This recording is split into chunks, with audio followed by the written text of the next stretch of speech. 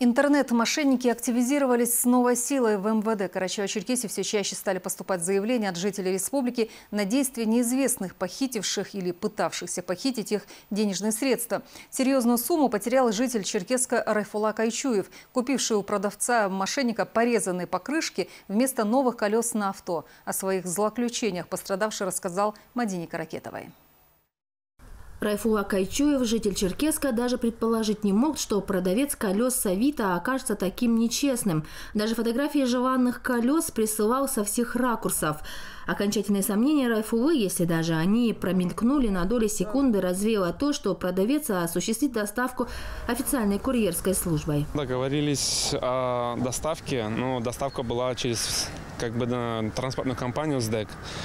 Ну, он согласился, я ему деньги перечислил, то есть он мне на, э, скинул накладную, что он отправил через ДЭК. Он отправил, я ждал, посылка шла со Смоленска, ну, почти где-то чуть больше трех недель, может.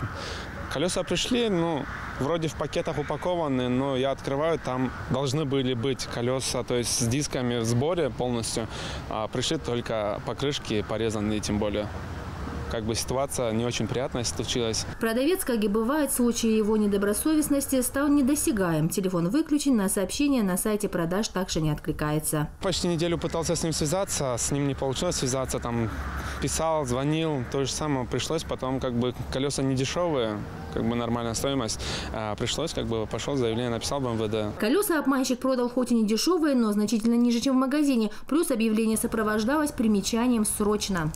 На что и купился Райфула. Подозрительно низкая стоимость товара – один из первых признаков того, что продавец может быть недобросовестным, предупреждает сотрудник уголовного розыска МВД по Карачаево-Черкесии Эмир Булатов. Кстати, от сотрудников полиции продавец колес скрыться не смог. Видимо, не ожидал скорого их визита к дверям своего дома. Сотрудниками УБО был осуществлен выезд э, в, э, в Смоленскую область, где человек, совершивший данное преступление, был установлен и дал признательные показания. На сегодняшний день идет следствие. Ну, основные инструменты мошенников – это именно цена и, как вы обозначили, срочность продажи. Именно на это подкупаются покупатели различные. Да?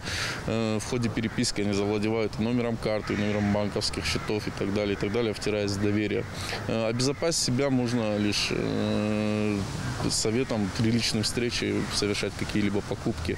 Эм, лично э, лично участвовать да, в какой-нибудь какой продаже. Подобный обман – явление частое, рассказывает сотрудник уголовного розыска Эмир Булатов. Причем на мошенника можно наткнуться как на сайтах объявлений, так и в социальных сетях. Большинство преступников, которые совершают данное преступление, заходятся за пределами нашей республики в других регионах, что тоже осложняет их поимку и установку. Гражданам просто нельзя быть такими доверчивыми. Они идут на поводу этих мошенников. Они мошенники по своему принципу. Очень хорошие психологи, знают, где как общаться и как давить. Кроме того, полицейские предупреждают о появлении предложения о помощи в оформлении документов, необходимых для получения социальных выплат, объявленных Владимиром Путиным. Не исключено, что подобным образом действуют мошенники и похищают у добропорядочных граждан их личные данные, там данные банковских карт, данные СНИЛС, которые используются для дальнейших мошеннических действий. Э, допустим, в России э, уже зарегистрированы случаи, когда э, создали дубликат сайта госуслуги, услуги. Э, внешне он ничем не отличается. Там единственное э, отличие – это в адресной строке э, изменен какой-либо символ. Чаще всего добропорядочные люди не замечают это, попадаются на уловки и теряют как свои денежные средства, так и свои персональные данные. Будьте бдительны и аккуратны. Небольшая подсказка, как распознать сайт дублер. Личную информацию можно вводить только при безопасном соединении. В интерфейсе браузера должна появиться иконка замка. И ни в коем случае не переходите по ссылкам, присланным присланным на электронную почту, смс или предложенным в соцсетях, советует Эмир Булатов. Мадина Каракетова, Мухаммед Ашибоков, Вести Карачаева, Черкесия.